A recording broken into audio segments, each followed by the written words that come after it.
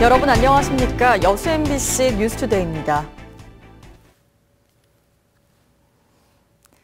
300억 원 규모의 권역별 재활병원이 전남대 국동 캠퍼스에 유치됩니다. 하지만 지자체 재정 부담이 커 사업비 분담이 관건이 되고 있습니다. 박민주 기자가 취재했습니다. 전남대 여수 국동 캠퍼스입니다. 이곳에 권역별 재활병원을 건립하는 사업이 속도를 내고 있습니다.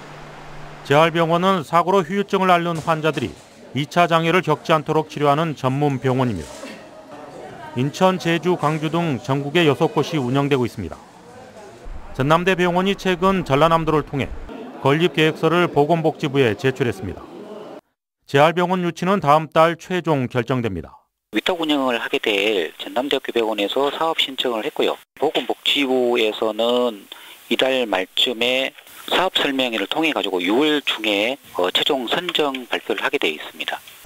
오는 2020년까지 150병상 규모로 건립되는 재활병원은 300억 원의 사업비가 들어갑니다. 위탁 운영을 할 전남대학교가 30억 원 상당의 부지를 제공하고 국비 135억 원이 지원됩니다. 쟁점은 여수시와 전라남도가 분담하는 135억 원.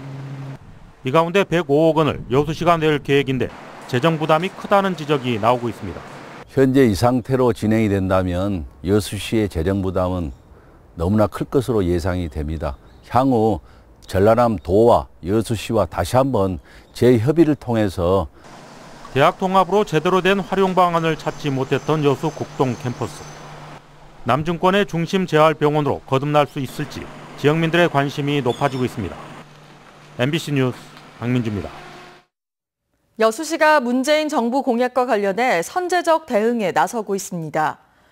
여수시는 문재인 대통령의 공약과 새 정부의 국정 운영에 여수권 사업들이 포함될 수 있도록 기획팀장 등 19명으로 구성된 관련 전담 TF팀 가동에 나섰습니다. TF팀은 문재인 대통령의 공약과 국정 방향을 세부적으로 분석해 지역 맞춤형 정책 과제를 발굴하고 토론회를 거쳐 시행 가능성이 높은 정책 반영을 구체화할 계획입니다. 다양한 직업을 직접 체험할 수 있는 청소년 박람회가 어제 여수에서 막을 올렸습니다. 올해는 4차 산업혁명을 주제로 한 프로그램이 마련돼 더욱 눈길을 끌고 있습니다. 문영철 기자입니다. 커다란 모니터에 펼쳐진 활주로를 따라 비행기가 이륙합니다. 학생들은 전문가의 도움을 받아 비행기를 직접 조종해 봅니다. 좀 앞으로 가다가 오른쪽으로 돌면서 착륙하면 되거든요. 긴장감도 잠시, 어느새 흥미와 자신감이 붙습니다. 원래 비행기 조종에 관심이 없었지만 그래도 그래서 한번 해보고 나니까 더 잘할 수 있을 것 같고 재밌어요. 제과 제빵 부스에도 긴 줄이 늘어섰습니다. 직접 생크림을 바르고 장식까지 마치면 금세 먹음직스러운 케이크가 만들어집니다. 하니까 더 관심도 생기고 직접 해서 만드니까 더 맛있는 것 같아요. 한쪽에 마련된 응급 구조 차량. 심정지 온 사람 사용할 수 있는 자동 제세동기가 비치돼 있고요. 응급 구조사 체험에 나선 학생들의 얼굴에는 진지함이 묻어납니다. 이처럼 다양한 직업을 직접 체험할 수 있는 청소년 박람회가 여수에서 막을 올렸습니다. 120여 개의 부스를 통해 학생들은 자신의 적성과 흥미를 탐색하게 됩니다. 특히 올해는 4차 산업혁명과 관련된 핵심 기술을 선보인 특별관이 마련돼 눈길을 끌었습니다. 증강현실, 3D 프린트 같은 청소년들이 미래를 꿈꿀 수 있는 주제를 많이 도입을 했습니다. 전국에서 모두 16만여 명이 방문할 것으로 예상되는 이번 박람회는 오는 27일까지 이어집니다.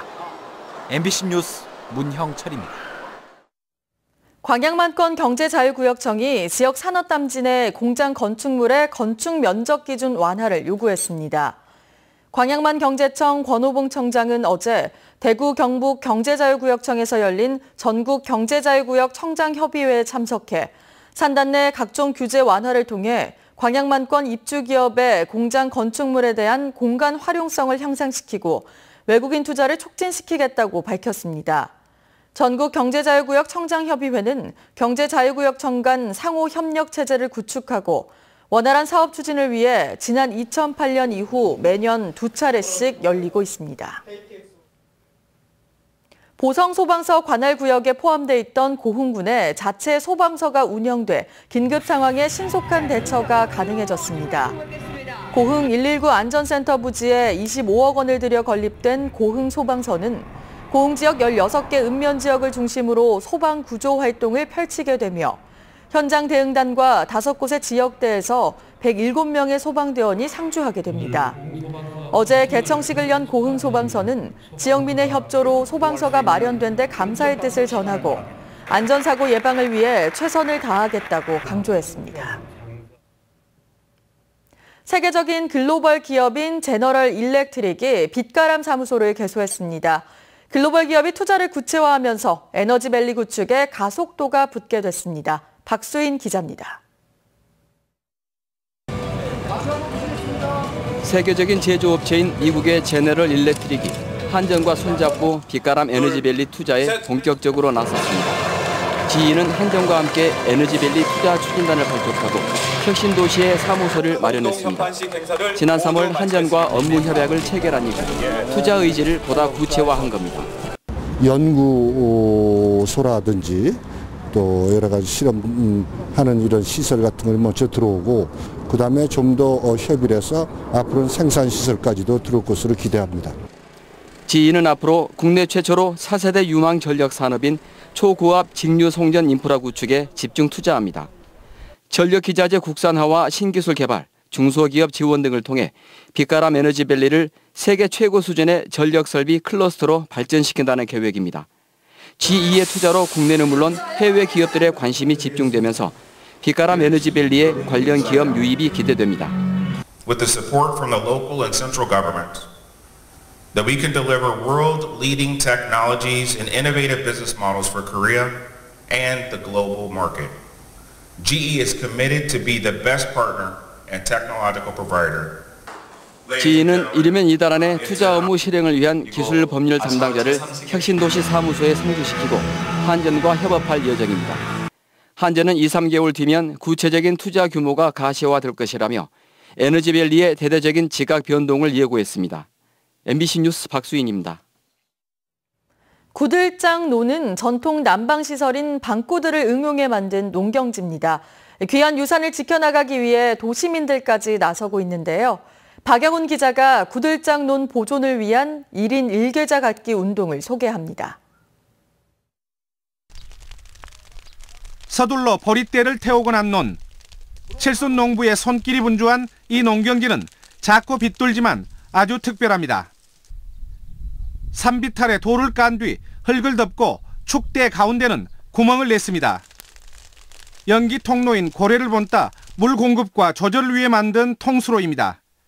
방식도 모양도 남방 구조물인 방구들을 닮았대서 구들장논으로 불립니다. 사람이 다 쌌어요.